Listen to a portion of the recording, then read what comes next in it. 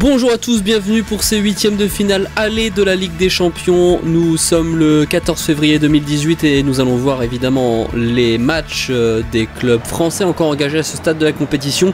Il s'agit bien évidemment pour le premier match de l'Atlético Madrid contre le Paris Saint-Germain ici au stade euh, Metropolitano de Madrid avec euh, évidemment des stars qui seront alignés sur le terrain aujourd'hui. Et on va regarder la composition des deux équipes avec une équipe de l'Atlético qui est quasiment au complet pour ce match contre le Paris Saint-Germain. Alors je regarde du côté des absents, des blessés. Oui, pour l'Atlético, il n'y a personne d'absent. On va jouer donc avec euh, les meilleurs joueurs sur la pousse, visiblement. Au Black dans les buts, une défense à 4 avec euh, Hernandez, Godin, Savic et Juan Fran. Carrasco à gauche, dont on annonce le départ pour très bientôt. Gabi, Coquet au milieu de terrain, Vitolo à droite et en attaque Griezmann Costa. C'est Gamero qui sera sur le banc de touche et du côté du Paris Saint-Germain, Mota s'est fracturé la hanche en Coupe de France, euh, vous l'avez vu lors de la dernière vidéo. Euh, la saison est terminée pour lui, on jouera donc sans euh, Mota et on a quand même beaucoup changé par rapport au dernier match.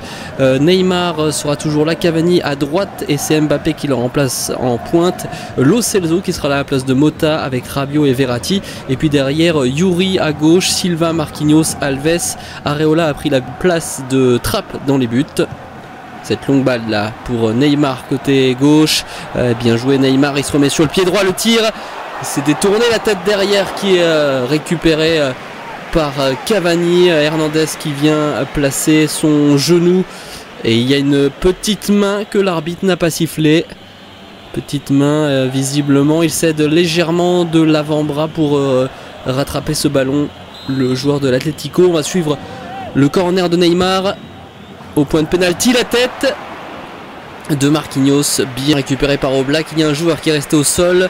Euh, l'arbitre euh, va arrêter euh, le match. C'est Yannick Carrasco qui reste au sol. Je vous l'ai dit, Yannick Carrasco dont on annonce en partance sans doute son dernier match avec l'Atlético pour la saison.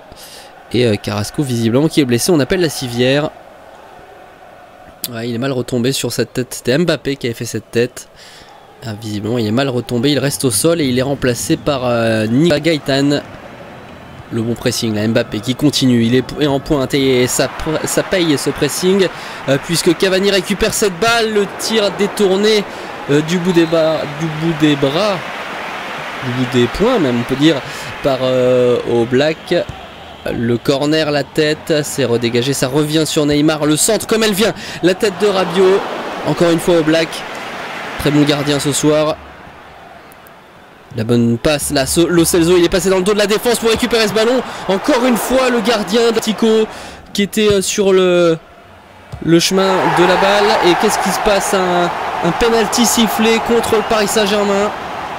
Visiblement Adrien Rabiot sur ce coup franc presque anodin. Qui devant Gabi? Il le touche de la main, mais c'est vraiment, euh, c'est pas flagrant. Alors qu'il y a eu une main juste avant pour l'Atlético qui n'a pas été sifflé. Gabi face à Areola et euh, il l'a pris du contre-pied. Et Gabi qui ouvre le score pour l'Atlético 1-0. Voilà, ça peut, oui, ça râle du côté du Paris Saint-Germain qui s'est dirigé tout de suite vers l'arbitre euh, juste avant un penalty qui n'avait pas été accordé à Paris. Et là, un, penalty sifflé contre Paris et euh, l'ouverture du score pour l'Atlético. Les joueurs qui sortent, notamment Lo Celso remplacé par Javier Pastore. Il a la mine basse, le buteur aussi qui sort. Gabi applaudi par son public. Je vous l'ai dit, la, mine basse des, Parisiens. Draxler qui remplace Mbappé. Euh, Cavani va retourner en pointe. Du coup, Mbappé lui aussi qui ne salue même pas son entraîneur. Gamero qui vient de rentrer en jeu. Le tacle parfait de Silva dans la surface de réparation.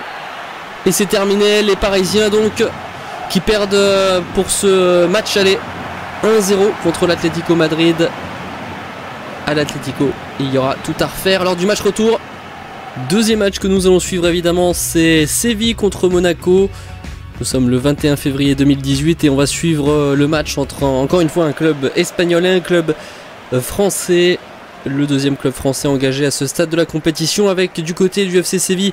Euh, eh bien là aussi tout le monde est là euh, pour Séville. On va aligner un 4-5-1 avec Escudero, Langlais, Gger, euh, Corchia en défense, Enzonzi juste devant la défense, Ever Banega et Vasquez au milieu de terrain, Sarabia à droite, Nolito à gauche et Muriel en pointe avec euh, des joueurs qui ont déjà mis beaucoup de buts. Ever Banega, on a déjà mis 3 Nolito également, 3 buts dans la compétition. Du côté de Monaco, par contre, on va jouer euh, sans Keita Balde qui a une entorse du genou. Euh, Subasic sera dans les buts. Il y aura Jorge, Jemerson, Glick, Sidibé en défense, Moutinho, Fabinho au milieu défensif. Lopez à droite, Lemar à gauche et on va repasser à deux attaquants, Falcao et Jovetic. Attention, euh, Moutinho est sous le coup d'un troisième jaune qui serait synonyme de suspension. Attention à ne pas en prendre un troisième, ce serait, sinon ce serait une expulsion euh, directement après. Et d'ailleurs, 18e minute de jeu, évidemment, qui prend un carton jaune? Eh bien, c'est Moutinho. Il ne fallait pas le prendre, il l'a pris, il sera donc absent lors du match retour n'arrange pas les affaires des Monégasques suite à ce tacle par derrière. 22e minute de jeu, Ever Banega, l'un des meilleurs buteurs eh du club pour cette compétition. Et au sol, il va sortir sur Civière finalement. Un joueur blessé. alors il n'y a pas eu vraiment de tacle méchant de la part de, de Jovetic. Mais ça suffit pour euh, qu'il se torde le genou visiblement.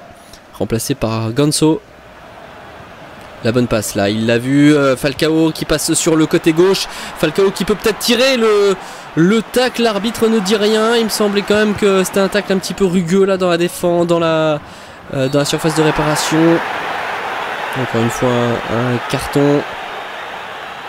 Tillmans qui était rentré à la place de Moutinho à la mi-temps, Moutinho qui est sorti pour éviter de prendre un deuxième jaune synonyme de rouge direct. Et là le tir, euh, bien détourné de la part de Basic. Les esprits s'échauffent hein, des, deux côtés. Beaucoup de jaunes du côté de Monaco notamment. Navas, il est passé, il garde le ballon Navas.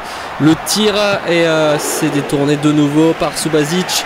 Il maintient ce score nul 0-0 pour l'instant. Le, le corner de point de pénalty. La reprise de volée, le de la défense monégasque qui permet de voir ce ballon s'envoler au-dessus des buts. Pizarro là qui avait euh, repris le ballon demi-volée. Enzonzi, Enzonzi, le tacle.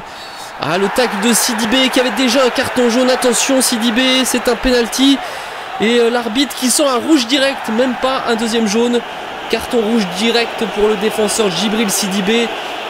Et euh, les Monégas qui auront euh, Moutinho Sidibé en moins, Keita Baldé également, qui sera peut-être encore en, séance de reprise et qui vont peut-être prendre un but à la 80. On est à la 94e minute de jeu déjà.